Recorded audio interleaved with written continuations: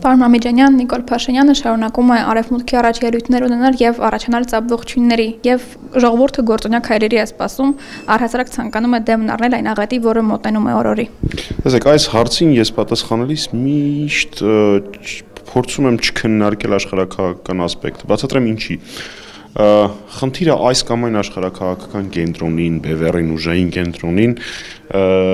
հաճո կամ ոչ հաճո որոշում կայացնելը չէ։ Խնդիրը կայանում է մի շարք հետևյալ ասպեկտներում։ Առաջին Նիկոլ Փաշինյանի արտաքին քաղաքականության արդյունքում Հայաստանը բարբերաբար հայտնվում է միայնակ 44 օրյա պատերազմի ժամանակ մեր երկու հարևան բարեկամ երկրները տասնքանի համարը 20 օրվա ընթացքում իրենց օթային տարածքը փակ են պահել Հայաստանի համար։ Պատերազմի ժամանակ այդպեսի բան երբեք չի եղել բնականաբար Հայաստանի ստրատեգիական դաշնակցի հետ հարաբերությունները եւ դաշնակիցների եւ գործընկերների հետ հարաբերությունները գնալով վատ թարանում են բայց այս ամենից զատ անհրաժեշտ է հաշվի առնել մի բան աշխարհի պատմության մեջ չի եղել այնպիսի դեպք երբ որևէ երկիր հանդգնյալ ճիշտ երկրի ղեկավար փաստացի ղեկավար հանդգնի սեփական երկիրը դարձնել աշխարհակաղակական ուժային կենտրոնների բախման վայր ու երկիրը դրանից շահի Այդպիսի դեպք պարզապես պատմության մեջ չի եղել։ Այսպես ձևակերպեմ, եթե երկու փղեր իրար հետ մենամարտում են,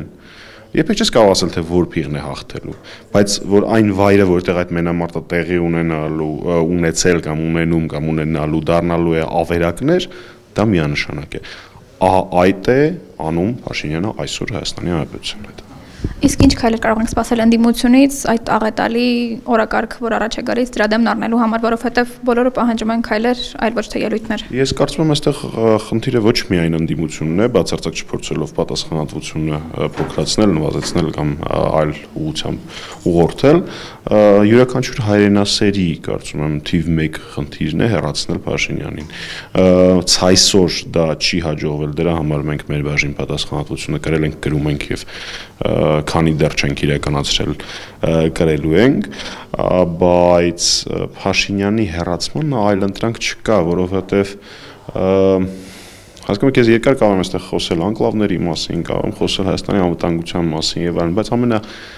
պարզ ցուցիչը այն է, որ Արցախը չկա, Արցախը հանձնվել է եւ այն որ մենք 100.000 հայորդի ունենք, հայրենակից ունենք, որոնք այս պահին գտնվում են աղետալի վիճակում։ Այնպես որ ինչ է լինելու, գնալու ավելի վատանալու է,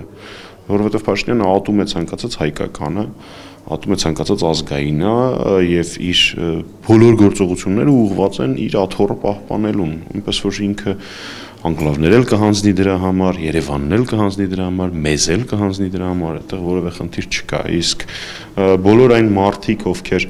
դրա դեմ պայքարում են կամ արդեն հայտնվել են ճաղերի հետևում նկատի ունեմ քաղբանտարկյալներին չթվարկեմ 30-ից ավել քաղբանտարկյալ Հայաստանի Հանրապետությունում կամ դրա ճանապարհին են այսքան հարուցած է քրեական գործերը կամ իրենց հանդեպ քարոզչական արշավներ են կազմակերպում կամ դրանց համադրությունը այնպես որ այստեղ շատ པարզ դիլեմա է կամ Հայաստանը եւ հայրենասերները կամ Փաշինյանը այդտեղ երկար մտածելու բան չի